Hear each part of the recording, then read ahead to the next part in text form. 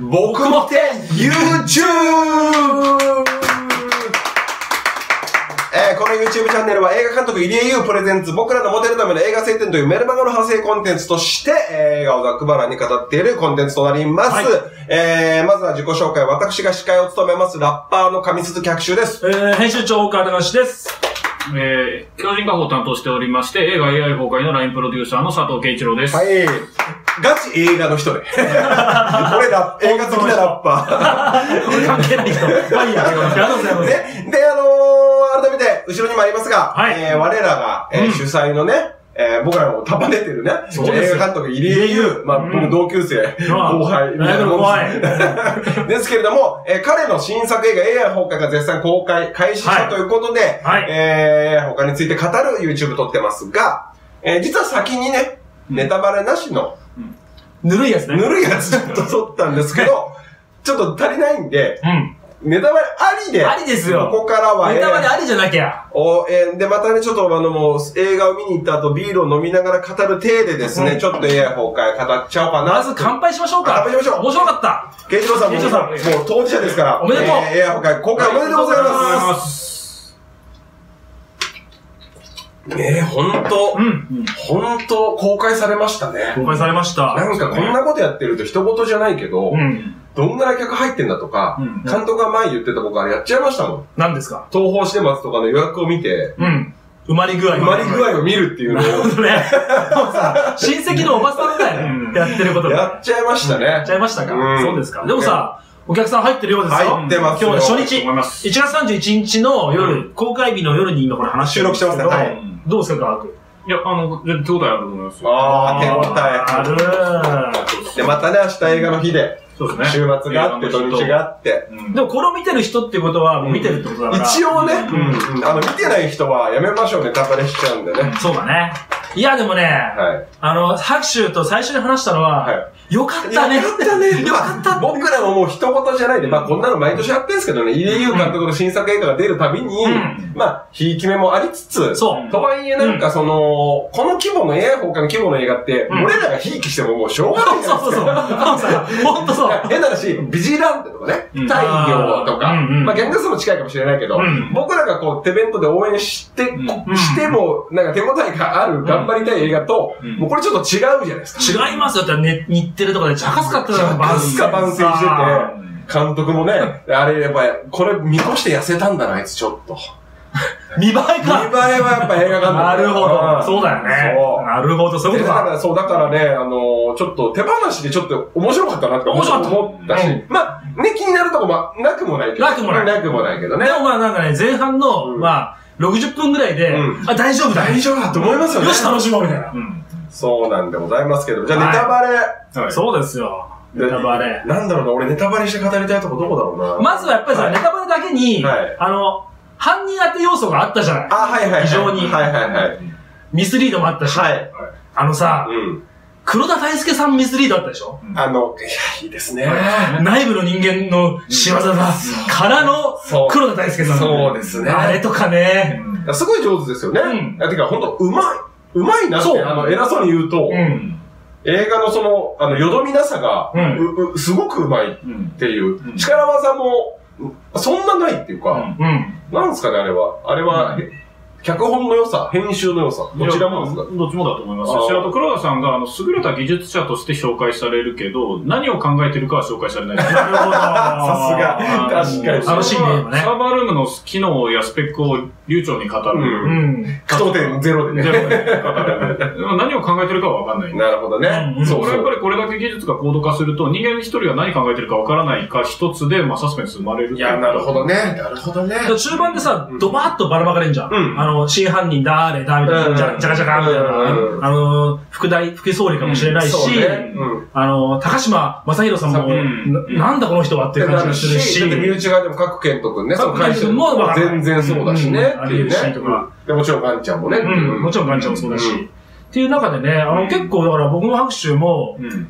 あ、そっかみたいな。ギリギリまでさ、俺、あの、だから、ね、ちゃんとネタバレしてくれるんですよ。うんあのそこも誠意、せなんか真摯だなと思ったのは、うん。あの、格好つけないんで、うんしっかりちゃんとサスペンスの落とし前つけてくるじゃないですか。うんうんあの時も、画面見ながら、で、また画面、誰が出てくるだ、誰って普通に思いましたもんね。うん。あ、そうだね。そううん。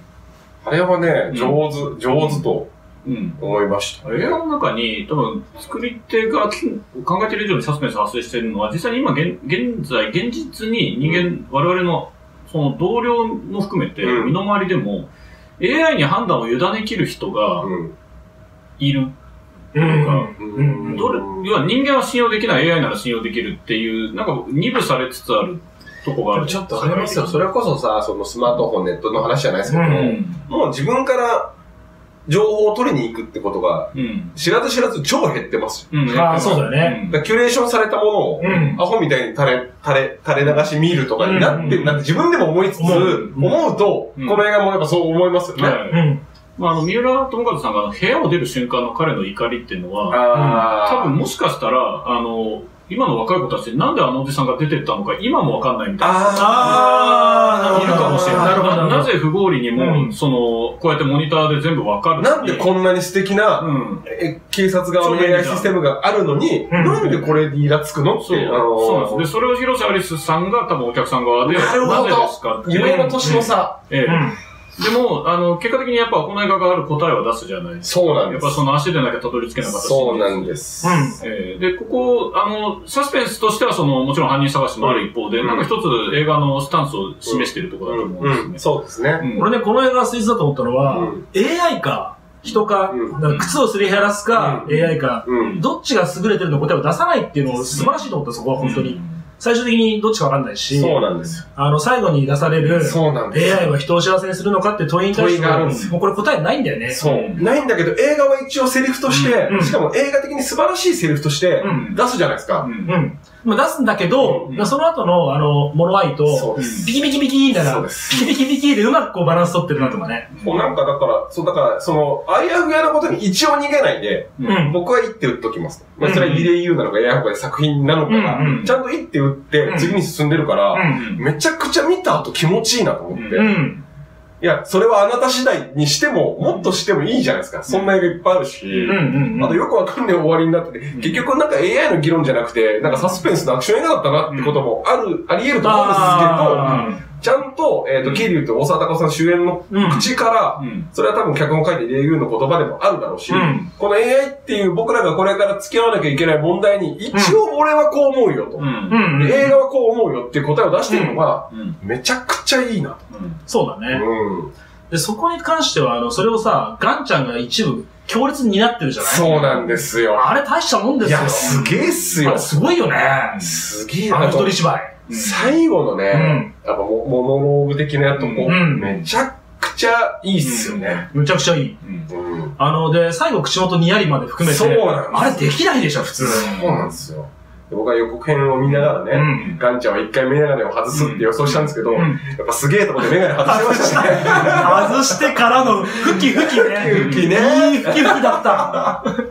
あの、入江監督の映画の登場人物が、うん手塚治虫の漫画の、うんあの、キャスティングシステムに近いものをちょっと感じるときが。スターシステムスタかーシステム。うんまあ演じてる役者は実際現実問題、えうん実写ですから違うんですけど、あのガンちゃんが演じたキャラが、あの、もし漫画だ、手塚漫画だったら、うんギャングースの金子信明さんと同じデザインの人に、なるほどね。ああーなるほど、なるほど。でもあのね、まさに思った。あうんの、うん。独白するじゃない？うんあの、告白をするときに、うんえー、少子化率10%と、うんあれ、金子信明さんですよね。ねあの瞬間。長いのいや、要は、監督が背負かん背負っている社会通念、あの、問題意識を代弁できるうん。キャラクターを多分ずっと、あの、作家として引き出しがある中に抱えてるんですよ。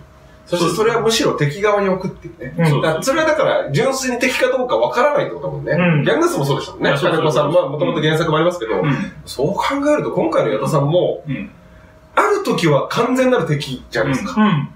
うん。敵としてちゃんと描かれて。うんでも、ね、ちょっと過ぎると敵じゃないじゃんって思える。うんその、深い、深い、いい、いいヴィランってことでする。ヴィランっていうか、うん。まあでもあれはヴィランじゃん。そうちゃんとねうんうんその辺がこの映画のその、なんか、大川さんは前の YouTube の時にリレーって言いましたけど、うん。そのつなぎがね、うん。この、この、だから第3層の時はヴィランで、そうそうそう第4層の時は、いやいや、そうでもないよっていうね。AI、人、世代、うんみたいな。親子、未来いやみたいなそう彼彼は、あれ、でもやっぱりその、全国5500件の犯罪を感知しましたって AI が言った時に、無視しなかったんですよね、それ。うん。なるほどね。なるほどなるほど一回だけねなるほど一回だけね。そういうキャラクターなんですよ。なるほどね。あの、要は治安維持秩序を守るってことに対する使命感は絶対もう悪ではないんですよ。うん彼のそのそこまでは。うん。うん。あの、学習、AI そのものの学習も彼の目的ではあるけれども、うんその、やっぱりそうやって一瞬でこう、あの、小さな犯罪も感知したってことに対しては、それそれ自体が目的でもちろん彼は開発している。っていううん。あとまた、警察側の AI の名前めっちゃいいっすね。百目ね不明。ですよ。悪魔くんですよ。エロインベッサイムですよそれ。はやっぱなんすかね、あの、ある世代だともうあの絵が浮かびます。そうなんですよ。こういう、そうこういう。無駄に載せた。調べてください、100名ね。あれ監督、あれ完全に監督の妖怪好きが出たってことですかでもまあまあ、あの、いい名前ですよ。いい名前よねちゃんとフィクションの名前だし。そうそうそうそう。意味が通じるしそう。そうそう。いいネーミングセンスだと思いました時の話をやっぱしたんですよ。あの、国家が何かを作るときに、うんまあ、例えば現あの高速上昇区の文字、うんうんあるいは不言であるように、うんだからその、あの、神話上の何かを入れたがる。なるほど。うんあの、仏教とか。うんうんうん。で、まあいろいろたどり着いて、いくつか名前が出た中で、そのやっぱり、すごく国家が考えそうな、うん。国家側が考えそうなネーミング。いや、本当は、本当はめちゃくちゃ考えたんだけど、うん何それって言われるような、うんなんかいい位置のやつね。そうそう水木ファンがいたんだよ。国家の中枢に。最後 OK する人は水木世代だからそうですよ。そうですよ。ね。うんそれ100目っていうよね。うんああ、そうそう。だから後半、前半も良かったけど、うん前半はなんかポップコーン食って面白くて、うん後半はやっぱり結構ハッとさせられました。うん。でね、あの、あえて苦言を呈すると、はいあるシーンで結構、ちょっと僕、苗かけてたんですよ。苗かけたシーンがあったんですけどその後素晴らしいシーンがあって、挽回したっていうのは、あの、逃走。ああ。ホログラムのところ。はい。はあれナイスアイデアだったと思うんですけど、どうですか？あああれ、あれでよかった。あれは良かった。あーあれナイスアイデア。なるほどね。うんあ、うんわかる。でしょ？俺も、うんあの時に車が出てって終わ、チェイス始まる。すいませんね、ネタバレ勝手にしてますから。ネタバレが全開では大丈あの、夫です。通じなくて、うん、もう、になんでそこに逃げれんの？ってなるじゃないですか。うん。ださ、なんか、え？予定調和だなって思うんですよね。うんただ、ただそこでいい広瀬アリさんのわーも出て、うん。わーも出つつの後ですもんね。そうですよ。確かに。3枚のお札張りのね、うん。逃げ方。いや、あれはもう、受的闘争。受的闘争。出た、出た、出た。呪い的闘争と書いて受的闘争ね。テロップが出る。受的闘争。受的闘争。あの辺も分かった上での、短絡的な逃走劇ですもんね、演出としてね。うん。そこ、そこは、ドアじゃないですね。あ、そうね。そこね、踏みますです。あ、踏みます。いい踏みます。踏みますいや、だから最ね。初は、あのー、三浦さんのペースに持ってかれてうわーだったのあーが、あそこは彼女が運転してる。なるほど。むしろ乗ってください。乗ってください。そこは成長があるんですよ。牛乳とカレーパン食ってましたっけ？あえっと、アンパンアンパンですかアンパンです。まあちょっと、それちょっと、ロケハンで監督が行った時にみんなでちょっと苦笑が出た。あの、入れが匂うんですよ、ちゃんと。要所要所。そうそうそう。10年後でも、やっぱり刑事は牛乳牛乳とアンパン。しかもさ、10年後絶対ストローだって入れ。パックは、パックはね、絶対いい感じのストローになってる。あこぼれるしね。こぼれるから。紙のストローがね、。そう、紙のストロー、紙のストローよ。ねちょっとごめんなさい、そこスタッフの努力が足りなかった。いやいやいや、すごいんだって、俺さ、あの、あの僕出演者でもあるんですけど、あ、はい大川さんね、あの、メルマガ読者さんは、同じ、ね大川編集長はちょいちょい入江作品にエキストラとして出るんですけど、今回、本人役だか3人、3シーンぐらいでしたよね。ら。でしたね。あれ本人役ですから。編集、あの、マイクマさん演じる、えーっと、雑誌記者の雑誌記者の、デイリーポストの。デイリーポストのあの、編集同僚。同僚ですね。同僚です。なんだっけ？こうあ、そうそうそうそう。大川さんこうやってやってああ、そうね。たよ。めっちゃいいみたい。大変なことになったな 猿芝居ですよ。お恥ずかしいですよ。どうでした現場？それでさ、はい現場にね、あるものが、ことごとく、あの、ちゃんと小道具なの。それ10年後の。そう。うんペットボトル、ポッとと手に取ってペットボトルのラベルがもうちゃんと、うわ、見たことないみたいな。すげえ。うんもち小道具さん。どうすげえ。で、あのね、その、今の牛乳パックもうん、見たことないじゃないですか。あれもちゃんと、そう。デザインがね、10年経ってこうなるだろうみたいな、ちょっと機能美みたいなね。だからもう楽しすぎて細かいツッコミしかないの。それこそ、そのストローにしとけとか。ああ10年後絶対ストローだから。あんな飽きづらいパックなんていきなりないとないよね。あと序盤の、すいません、ダ話になるけど、大沢さん絶対脇も汗かかせた方がよかっあ、ここだけじゃない。でもね、わかる。やっぱね、のね、俺たちが知ってるタフな男は、うんあの、グレーの T シャツの胸に汗じみができる。いやあれはね、もうあれは80年代の 映画のノリですよ。ああのの娘の一言目が汗臭いっていうのの、ちょっと脇が絵で入ってると、お客さんのちょっと想像力次第では本当に臭いおっさんっていう。なるほど絶対脇かくでしょ。インテンショナル脇汗なしだったんうん。そうそうちょっとやりすぎっていうかでも、そうねそのあれしかも感動的なね。そう、汗臭いがさ、あんなことになる 遠くから飛んできましたね。来たね、遠隔、遠隔地から。本当に。まあ、ずっと監督も意識してたと思うんですけどね、それなんか人間のその代謝とか、うんあの、に絡む、そのなるほど AI と、え AI に対して常にやっぱり映像には意識的にその、なるほど。うんまあ、体温、食事、うんえー、まあ排泄はなかったですけど、まあ、その辺がやっぱ人間じゃなきゃない代謝機能の描写っていううんのがうん。かなりあったと思うんですよ。うん。それそれこだわってて、あの、食事も、操作し、サイバー操作室の人たちもうん。食べてるじゃないですか。ちょっと食べてるね。食べてるんですよ。うんうんうんあの、高島さんが食べかすこう投げるし。ちょっとわかる。あの、あの手のさ、その、えっ、と、IT 技術作った、使った頭脳戦とかさ、うん例えばその24とかで1日かけたうんうん。テロとの対戦とかさ、お前ら飯と水大丈夫って思う瞬間にあるじゃないですか。うんうんうんあと、逃げる方もね。うん。ちゃんと食ってるってことが、やっぱりいいですよね。そうですね。うんが、あの、大大学に廃墟に来た時も、それちゃんと水と飯持ってきますから。ああ、そうだね。うん。そうね。そうそうそうそう、食べる、食べるっていうのはすごいこだわってます。そうね。それやっぱ、じゃないとね、人はね、ううんあとね、そう、ホタル幸次郎さんですよ。野田力田さん。うん。あの、あの出し方ね。うん。夢の中を口ずさむ。ゴジラ出てきそうな感じやばくないですか？あの夜の海。だ第一発見者。大事発見者。あれは、まあ、前から監督から聞きましたけど、そうですね。あれを完全にオマージュ感っていうかね。そうですね。うんガメラとギャオスと大沢たかおを発見するっていう。ちょっとイベント来てよそうだよ !2 月8日来てよの。そういう話が聞きたいんだよ、今の話もう一回して、会場で。ガメラ、えー、ギャオス、ガメラ、レギオン、いいんだよ、そんな細かさもうね、結構パワポでこう、カメラみたいな出るシーンが見える。大沢たかおっていう。だからね、岩木美子さんとかの使い方とかも、あのな、あの、なんか贅沢さね、うん本当にあそこしかってね、すごいっすね、と思って。ね。めぐみさんもそうだしね。でも、ようきみこさんのね、あの、うはね、うん。あれはできないですよ。すごいうだって。そうね。そうね。文句を言いながら死ぬっていうさ。そうね。そうね。でも、一変な一番怪しいやつの目の前で。そうそう。そんな役受けるんですねっていう。うん。あとはいえ、うんあの、我が国は女性の首相はいないじゃないですか。そう。まあだからやっぱ10年後なんですよね。そうなんですようんうん。まあちょっとそこも、あの、もちろん、ザ首相を演じる、うん。じゃあキャスティングするって時に、いますよ、もちろん。首相といえばこの人みたいな。うん、そうね。いますけど、まあだからそこは、あの、本当予算、ああの尺に関係なくやっぱり受けてくださった。いや素晴らしいなるほど。うん僕予告編で、やっぱ予告編でもやっぱキャラ立ってて、うん。僕は都知事だと思ったんですけど、やっぱ考はえ、やっぱ10年後そんなわけないですよね。うん都知事はもう女性ですけど、うんまあ首相ですよね。あとねちょっと真面目な話するとはい、この映画結構学習っていうテーマがあると思って、あの、望みね、AI も学習するし、で、100名は逆にその学習が足りないっていうところで、まあ、敗北するとかうんがあって、その間に、大沢たかおさんもまた学習してるっていうのは、あの、デモ隊に乗じてう、ん。序盤で、うん。あの、反 AI 派がさ、うん壇上に行くじゃん。うん。あれと同じ手法で最後潜入するっていう。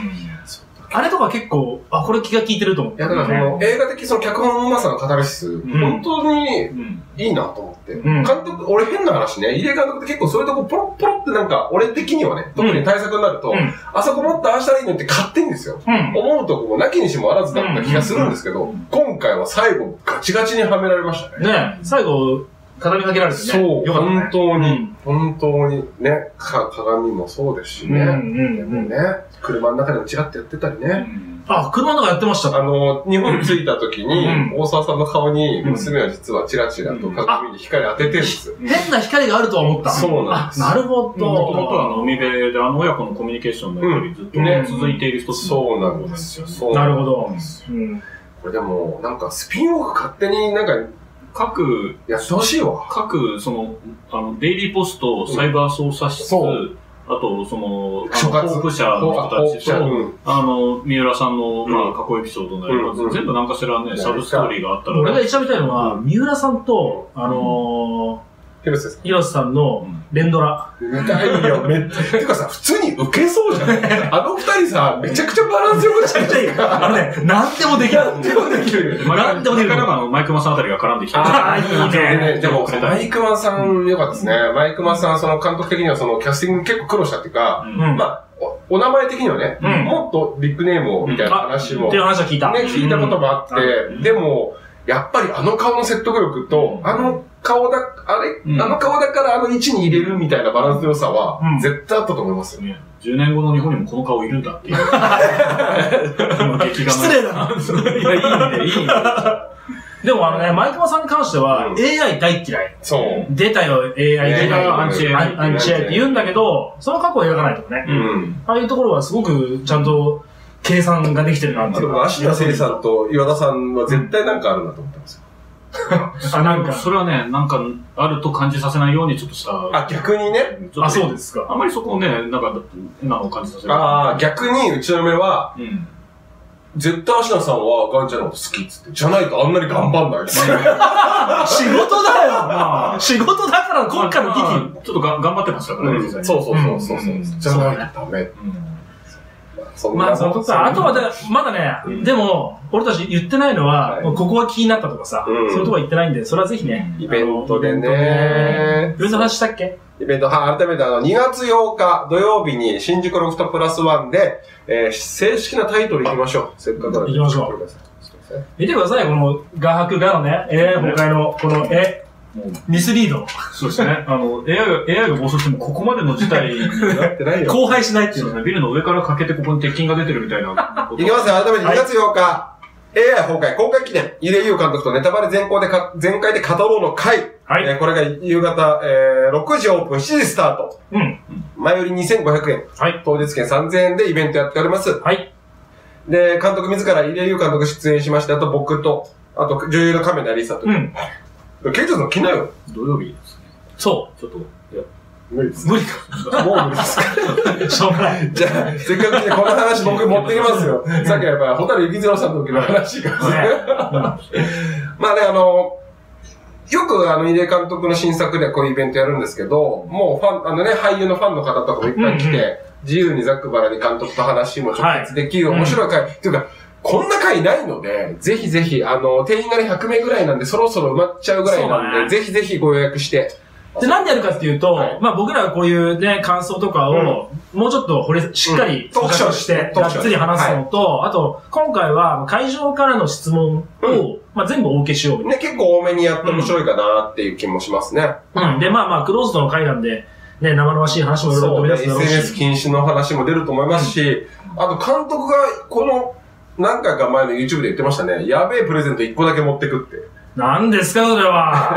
あの、あまり、あの、スタッフとか関係者にも言えないやつ持ってくるって。一切教えてくれてないんですけど、なんか1個すげえプレゼントがあって、多分、会場のくじ引きがあってね、うんドリンク頼むごとに、あの、はいくじの権利をもらえるやつで、やると思うんで、ぜひ遊びに来てね、はい。ゲットしてください。はい。